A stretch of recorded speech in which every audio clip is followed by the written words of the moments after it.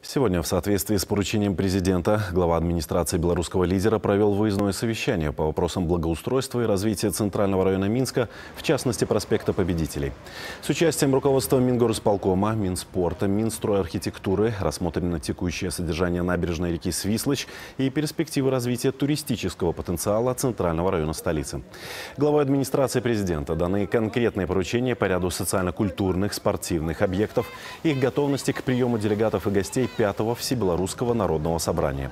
По итогам совещания городскими властями им поручено оперативно в течение одного-двух дней устранить выявленные недостатки, а также с привлечением ведущих проектных институтов и Академии наук разработать комплексный проект благоустройства и развития территории Центрального района, прилегающей к реке Свислочь.